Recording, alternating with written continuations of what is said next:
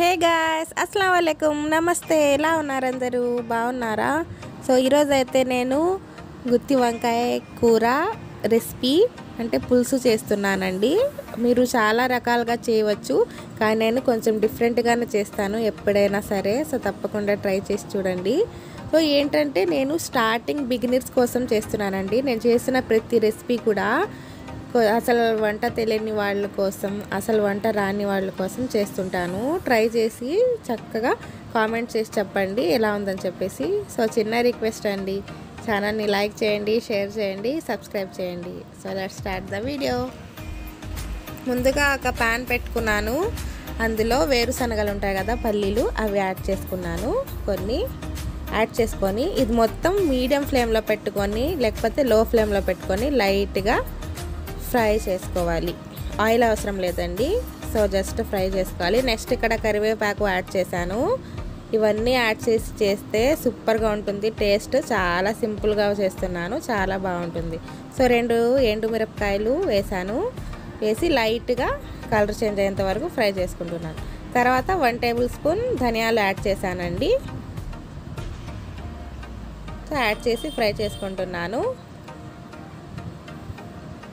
Next పావు tablespoon మెంతులు add చేశాను. ఎక్కువ అవసరం లేదండి జస్ట్ కొన్ని యాడ్ చేస్తే సరిపోతుంది. మెంతులు. సో అవన్నీ లైట్గా ఫ్రై అయ్యాక నువ్వులు ఉంటాయి కదా తెల్ల నువ్వులు అవి యాడ్ చేశాను వన్ టేబుల్ స్పూన్. అవి కూడా యాడ్ చేసేసి లైట్గా ఫ్రై చేసుకుంటున్నాను. నువ్వులు అనేది లాస్ట్లో యాడ్ చేసుకుంటే మంచిది. సో గసగసాలు వన్ టేబుల్ స్పూన్ యాడ్ చేశాను. ఇవి మొత్తం లాస్ట్లో యాడ్ చేసుకోవాలి లైట్గా ఫ్రై చేసుకోవాలి. ఫైనల్గా జీలకర్ర యాడ్ చేసుకున్నాను one tablespoon. So add చేసుకొని అది ఫ్రై చేశాక ఎండు కొబ్బరి ఉంటుంది కదా సో కొన్ని యాడ్ చేసుకున్నానండి. ఎండు కొబ్బరి. సో ఇవన్నీ main compulsory ingredients. Last and final వచ్చేసి వెల్లుల్లి రెబ్బలు మూడు లేకపోతే నాలుగు యాడ్ చేసుకున్నాను. సో ఈ వాటిన్నిటిని బాగా లైట్గా ఫ్రై చేసుకొని దీన్ని పౌడర్ చేసుకొని పక్కన పెట్టుకోవాలి. ఇక్కడైతే ఒక ప్యాన్లో ఆయిల్ యాడ్ చేసుకున్నాను. ఆయిల్ హీట్ అవుతుంది కదా. సో ఇక్కడైతే వంకాయలు ఉంటాయి కదా. సో రౌండ్ వంకాయలు అవి ఫ్రై చేసుకుంటున్నాను.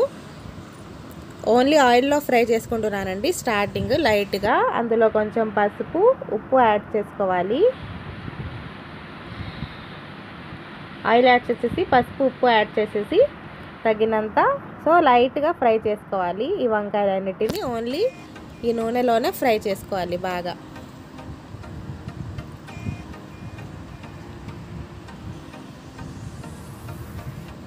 సో మరీ మీడియం హై ఫ్లేమ్లో పెట్టడం అవసరం లేదు. సో ఇవన్నీ యాడ్ చేసినాక లైట్గా ఇలాగా కలుపుకోవాలండి మొత్తం. సో వంకాయ అనేది కలర్ చేంజ్ అవ్వకుండా సో ఇలాగా నేను యాడ్ చేసి ఫ్రై చేసుకుంటున్నాను.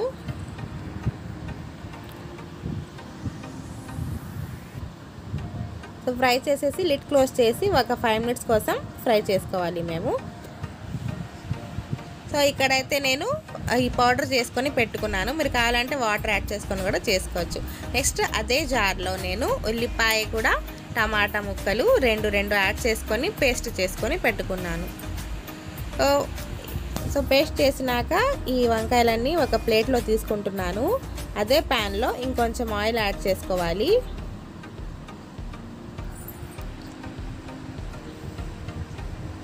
ఇంకొంచెం ఆయిల్ యాడ్ చేసుకున్నాను. సో మెయిన్ ప్రాసెస్ బేస్ అనేది ఇదే అన్నమాట. సో ఫస్ట్ అయితే ఇక్కడ పోపు తాలింపు యాడ్ చేసుకున్నాను. జీలకర్ర ఆవాలు పచ్చిశనగపప్పు యాడ్ చేసుకున్నాను. నెక్స్ట్ కరివేపాకు కొద్దిగా యాడ్ చేసుకొని ఫ్రై చేసుకుంటున్నాను.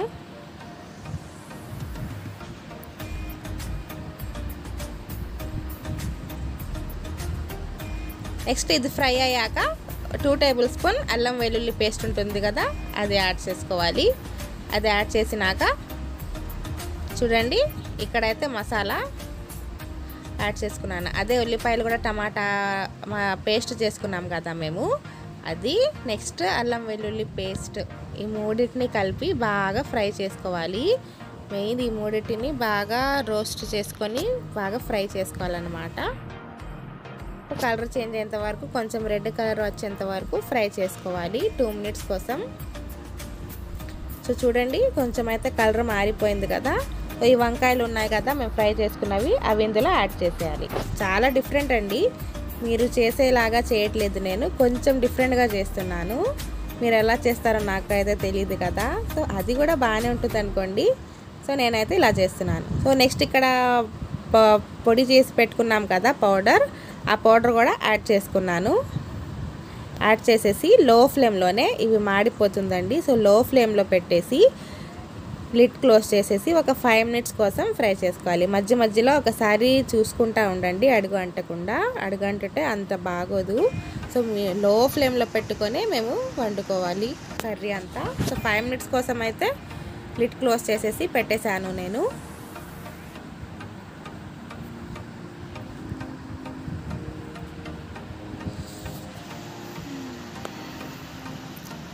ఆఫ్టర్ ఫైవ్ మినిట్స్ చూడండి. చాలా వరకు అయితే మన కర్రీ రెడీ అయిపోయింది.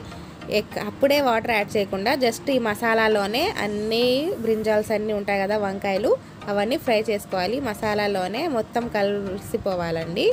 అప్పుడు పైన కిందకి లైట్గా ఇలాగ తిప్పుకుంటా ఫ్రై చేసుకోవాలి. సో స- సగానికి పై పైగా అయితే మన వంకాయలు కుక్ అయిపోయాయి బాగా. చూడండి కలర్ కూడా కొంచెం చేంజ్ అయిపోయింది కదా. సో ఒక టూ మినిట్స్ కోసం మేము ఇలాగే మళ్ళీ కలుపుతూ ఉండాలి. మధ్య మధ్యలో కలుపుకుంటూ చేసుకోవాలి.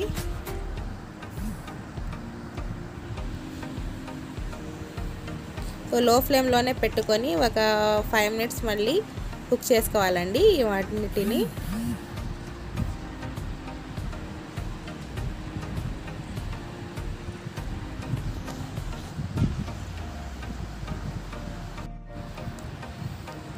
సో ఆఫ్టర్ ఫైవ్ మినిట్స్ ఇక్కడైతే నేను కొత్తిమీర యాడ్ చేసుకున్నాను. ఇది కంపల్సరీ ఆప్షన్. కొత్తిమీర యాడ్ చేస్తే టేస్ట్ అనేది చాలా బాగుంటుందండి. సో తప్పకుండా కొత్తిమీర వేయడానికి అయితే ట్రై చేయండి. ఇష్టం లేని వాళ్ళైతే స్కిప్ చేసేయచ్చు. ఏం పర్వాలేదు. ఫైవ్ మినిట్స్ తర్వాత లైట్గా నేను ఒకసారి మళ్ళీ మిక్స్ చేసుకుంటున్నాను ఈ కర్రీ మొత్తాన్ని.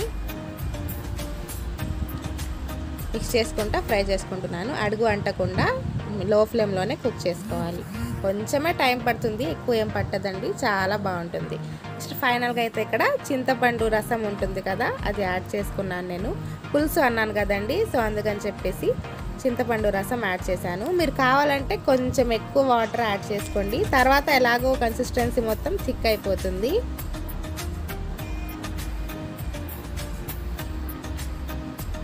ఫైనల్గా ఇక్కడ కారం యాడ్ చేసుకుంటున్నాను.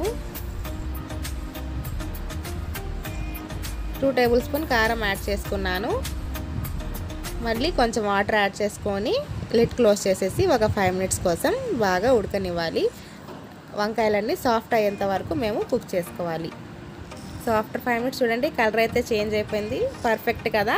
పర్ఫెక్ట్లీ కుక్ అయిపోయింది మన పులుసు గుత్తి వంకాయ కూర. సో చాలా అంటే చాలా బాగుంటుంది టేస్టీగా కొంచెం డిఫరెంట్గా ఉంటుంది. మీలో చాలామందికి రావచ్చు ఈ రెసిపీ. ఇలా ట్రై చేసి ఒక్కసారి చూడండి నాకు కామెంట్ చేయండి. సో చెప్పండి ఎలా ఉందని చెప్పేసి. నాకైతే చాలా బాగా నచ్చింది. సో మీకు తప్పకుండా నచ్చుతుందని అనుకుంటున్నాను. తప్పకుండా ట్రై చేసి నాకు కామెంట్ చేసి చెప్పండి. సో లైక్ చేయండి షేర్ చేయండి సబ్స్క్రైబ్ చేయండి. Thank you for watching my video next వీడియోలో కలుద్దాం. Boy friend